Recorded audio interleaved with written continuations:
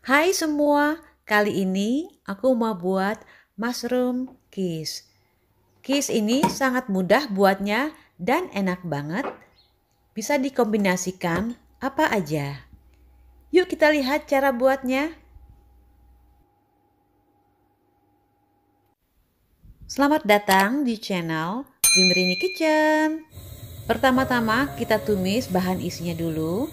Satu sendok makan margarin dan 2 sendok makan minyak zaitun, satu bawang bombay yang dicincang, tumis sampai wangi dan layu.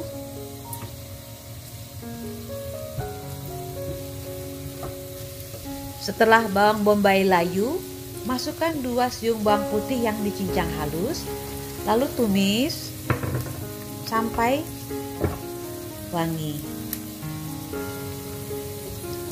Setelah bawang putih wangi dan layu, masukkan pula 250 gram mushroom yang di, diiris tipis. Lalu tumis sampai matang kira-kira 5 sampai 10 menit.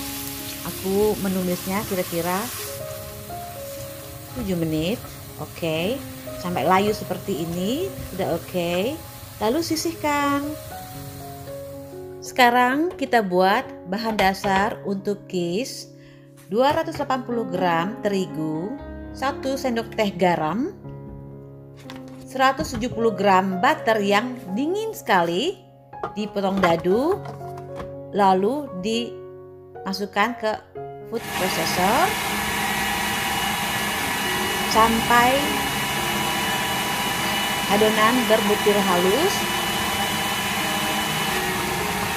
Lalu masukkan secara bertahap 6 sendok makan air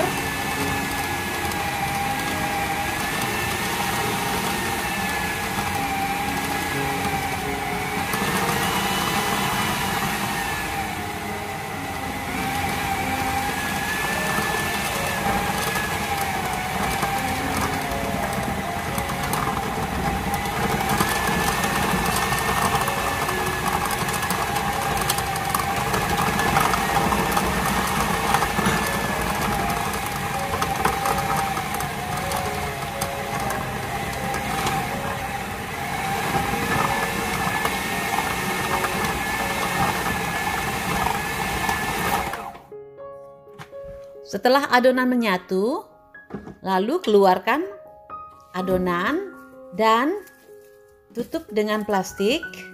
Disimpan dalam kulkas kira-kira 30 menit.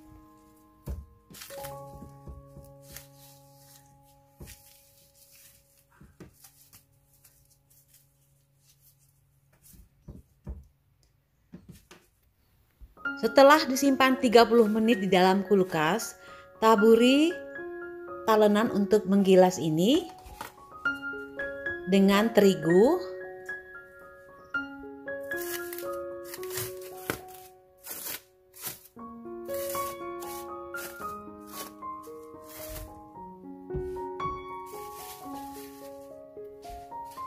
Taburi juga adonan sedikit dengan terigu.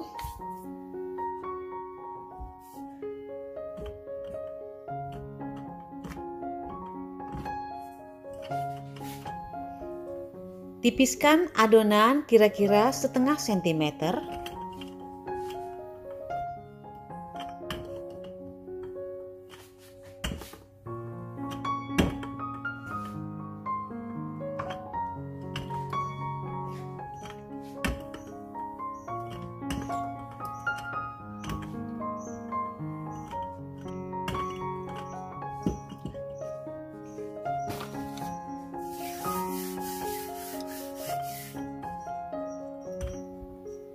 Lalu gulung dengan rolling pin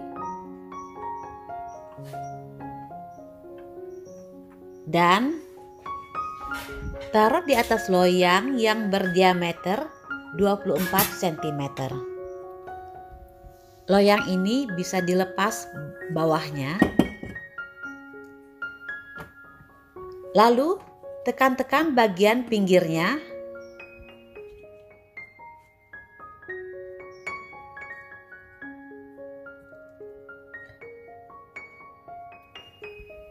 Dan potong bagian sisa di atasnya. Kira-kira seperti ini.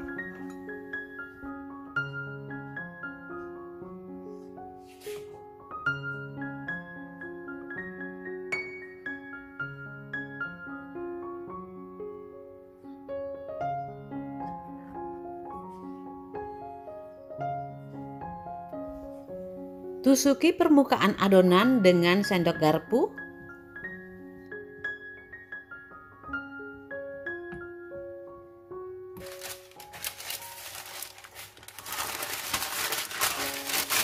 Dan alasi permukaannya dengan baking paper dengan cara meremasnya dan tekan-tekan permukaannya agar nanti ketika di panggang, tidak bergelombang, dan diberi juga kacang-kacangan atau seperti aku ini kacang-kacangan dan juga diberi beras agar tidak bergelombang dan kokoh.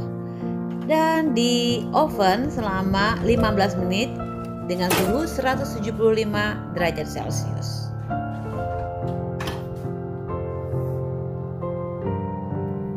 Sementara memanggang, kita buat bahan isinya. 3 butir telur, 240 ml krim, seperempat sendok teh merica, 1 sendok teh garam, 1 sendok teh oregano, dan seperempat buah pala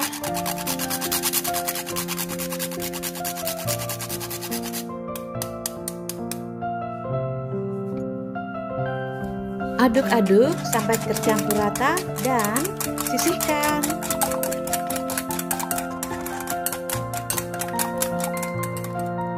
Setelah 15 menit dipanggang, keluarkan kacang-kacangan tadi dan panggang lagi selama 15 menit.